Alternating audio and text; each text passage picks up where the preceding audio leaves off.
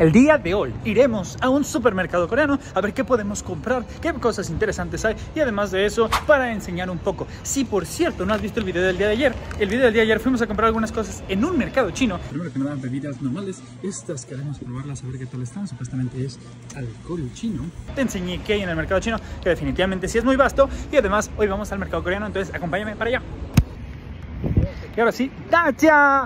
Hoy es el día número 39 ¿Veis? El día número 40 de 150, volviéndonos famosos en China, pasaron cosas increíbles el día de hoy, además de que fuimos a un supermercado coreano, compramos algunas cosas y por cierto, les vuelvo a recordar, para cualquiera de ustedes que quiera saber cómo es un supermercado chino, o en este caso una tienda china en México, se los puse en el video pasado. Se los pongo aquí en el playlist de todos nuestros días de chino. Y ahora sí, vamos al supermercado coreano. Vamos a ver qué encontramos, qué cosas interesantes. Y además, definitivamente, este supermercado coreano es de mis favoritos de todos. Entonces vamos para allá.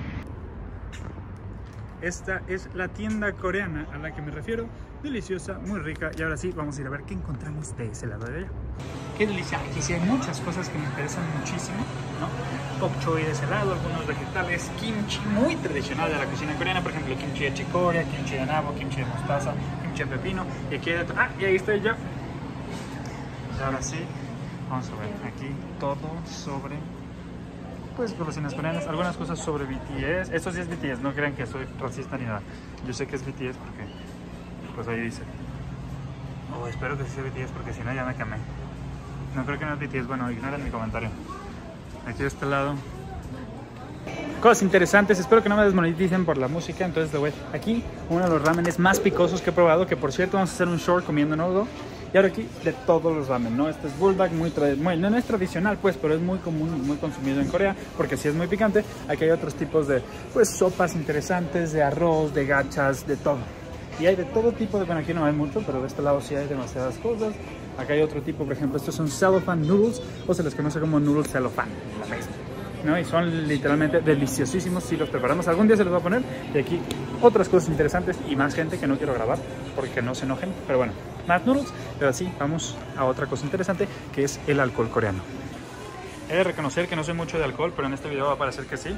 Este de aquí no se los va a negar, lo más delicioso, yo necesito uno, me lo voy a llevar, sabe riquísimo, riquísimo. Aquí, claro, esto es maquioli, maquioli, maquioli, maquioli de avellana, maquioli de almendra, maquioli normal. Este maquioli creo que también es normal. Maquioli es un destilado de arroz, igual que el soyo, esto no es soyo, esto es otra bebida como... Esto es soyo, destilado de arroz, saborizado, muy muy rico. Aquí un soyo de chocomenta, que sí está rico, pero no tan rico como lo pensarías. Uno de... Este tampoco está tan rico, pero los demás, exquisitos, riquísimos, y el de Yakult delicioso, no lo va a negar. Aquí, chévere, cosas interesantes, chéveres que algún día podremos hacer un video pisteando como coreanos y aquí test, ¿no? O sea, porque es importante, si hay alcohol aquí, tiene que haber té acá, siempre.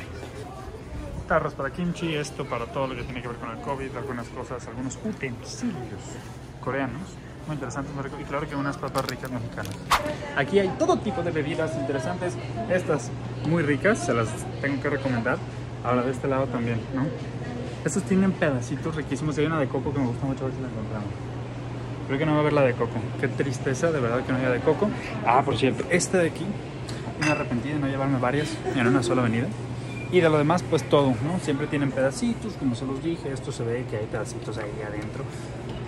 Muy interesante, muy rico. Agradecerle a los coreanos por comida tan deliciosa que siempre traen. Y también algunos productos interesantes como este Topo Chico y este Delaware Punch. Otra cosa muy interesante que hay son que venden arroceras. ¿Quién lo pensaría? Aquí hay otras como ollas de cocción, black, eh, no sé, alguna olla interesante. Para todos los que quieran saber, en nuestro Instagram tenemos muchas recetas chinas y ya casi llegamos a los 200 mil. Entonces, por favor, todos los que vean esto vayan a Instagram y denos un like, un corazón o un mensajito. Si no se quieren suscribir, no se preocupen. Ahora, comida congelada, deliciosa, postres, carne, todo lo que te imagines aquí. Yosias en este caso que son dumplings, ¿no? Ahora, importante, en chino, para decir yosias se dice jiaozi, jiaozi. Entonces, son muy diferentes las yosias a los mandu, que en este caso es lo mismo, pero en coreano, y finalmente el jiaozi. Todos son diferentes porque tienen diferente preparación y diferente la parte de adentro, pero saben muy similar y se pueden muchas veces confundir. Ahora, importantísimo también, parte importante de la dieta de los coreanos, la dieta de los chinos y la dieta de los japoneses tiene que ver con estas cosas interesantes. A ver, lo puedo picar. Eh, sí, pero no la puedo sacar. Y prefiero no decirle nada a nadie ni que se vea mal.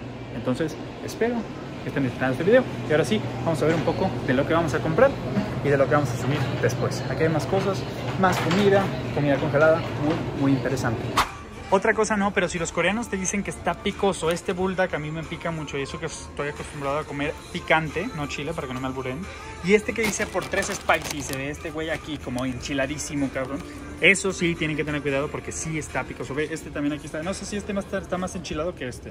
Yo creo que este se ve más enchilado que este, pero... ¿Qué será? ¿Este estará más cabrón? Uy, se ve, se ve peligroso, ¿no? Yo creo que sí lo vamos a probar en otro video. Y aquí, Janjamyeon.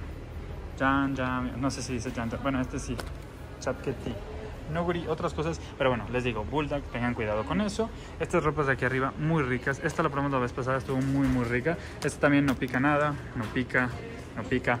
Pero estas de aquí, sí, mis respetos. Ah, por fin finalizamos primero que nada, nuestro recorrido por el super coreano. Espero lo hayan disfrutado muchísimo. Aquí tenemos todo lo que compramos. Si compramos algunas cosas, les pongo todo lo que compramos, una lista, también los precios, un aproximado más bien, para que mejor vengan aquí, ustedes lo juzguen. Y por cierto, la tienda se llama Highmark. Les pongo en la pantalla la dirección donde estamos, también todo eso. Espero lo hayan disfrutado muchísimo. Y ahora sí, vamos con la primera parte de resultados. Espero estén disfrutando muchísimo este video. Y antes de empezar con los resultados, que no se les olvide por favor suscribirse, picarle a la campanita. Y por cierto, si comparten este video, se los agradeceremos muchísimo y les regalamos un dumpling. Vamos ahora sí a los resultados. Estos fueron nuestros resultados del día número 40. Vamos creciendo poco a poco, pero con paso seguro. Además de eso, ya vamos a planificar un día de estos en donde destinemos todo el día para crear contenido que les puede interesar mucho. Además lo vamos a editar ese mismo día y se los voy a mostrar en el video.